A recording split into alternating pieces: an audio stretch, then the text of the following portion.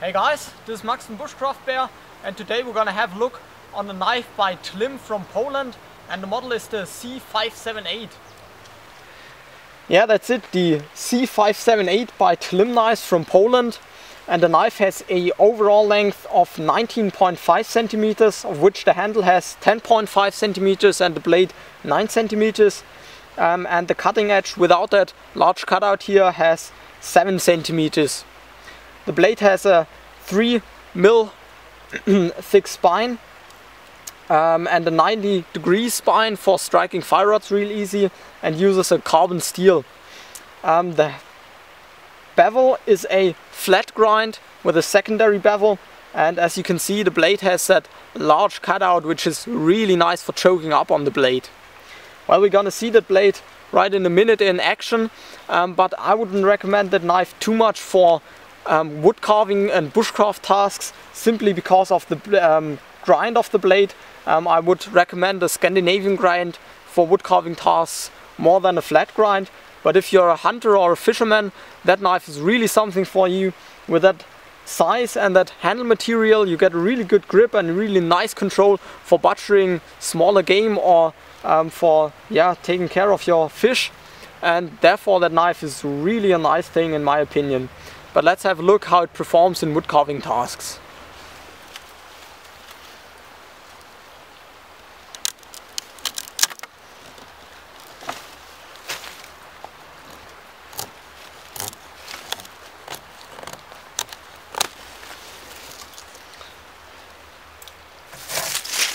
Now here we go with some carving tasks. As I said, the blade angle isn't perfect for wood carving things, but obviously a outdoor knife should be capable of doing some wood carving tasks, even if it's primarily meant as a hunting knife. At least that's my opinion. But yeah, that knife really is capable of doing also some wood carving tasks.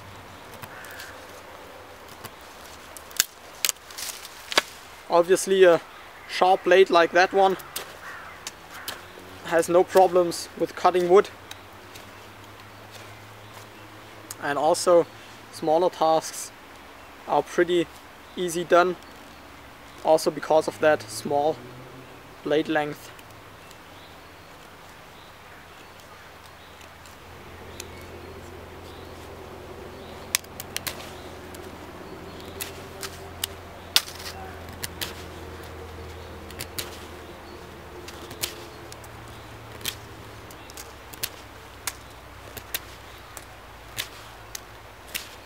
Well, as you can see, even with that small handle, or I should say with that, with that pretty thin handle, it's still pretty comfortable to do power cuts where you have a lot of strength on the handle and yeah, it's really not uncomfortable.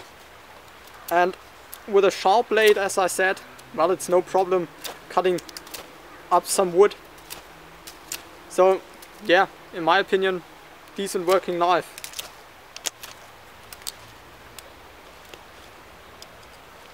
Also that opportunity to choke up is pretty nice because you get a better control for smaller things and also for doing feather sticks that's really nice. I really like to choke up when I'm doing feather sticks to be really close to the cutting edge and here uh, my finger really rests naturally in that yeah big dent right here. So that's pretty nice in my opinion.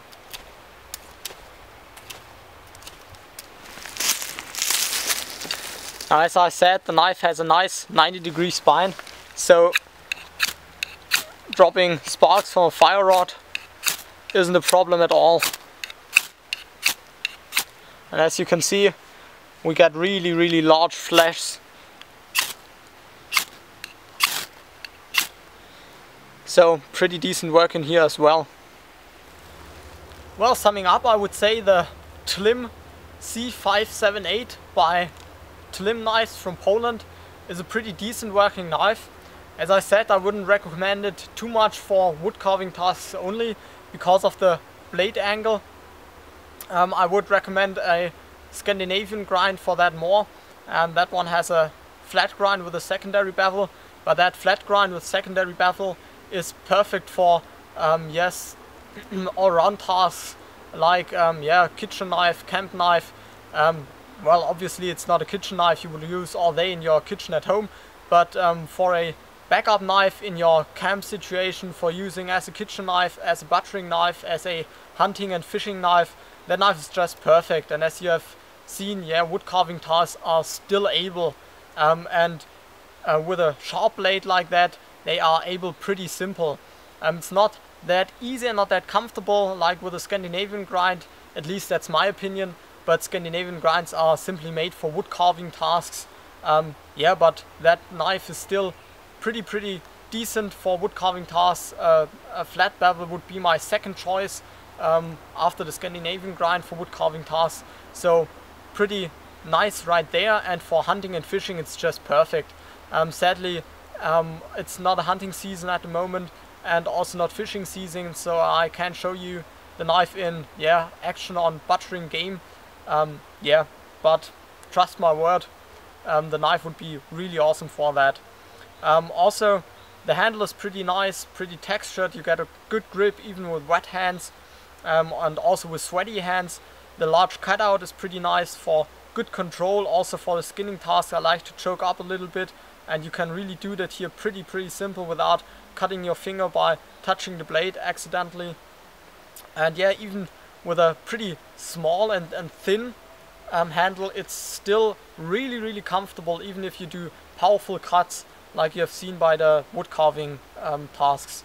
So yeah the last thing um, you have to know in my opinion that knife comes without a sheath and that's once again a plus and a minus. Um, obviously the downside is you don't have a sheath with a knife and you have to get um, yeah a custom sheath or do it your own um, but the major plus side is that you don't have a sheath um, that doesn't fit your needs and um, that's a problem I see very very often if I order a knife it comes with a bad sheath and I've paid um, yeah I've paid a price for that sheath it's always um, within the knife price and um, then I'm unhappy with the sheath and still have to buy me a, a new one. So you don't have the problem with that one.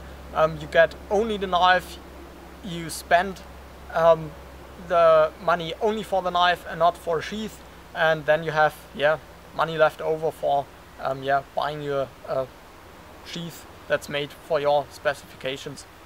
So yeah, my opinion, pretty nice knife. Um, check it out on tlim.net and um, yeah there you can see that knife and also the C440 Bushcraft which I've reviewed um, yeah, pretty, pretty decent products here in my opinion. So thanks for watching and see you the next time.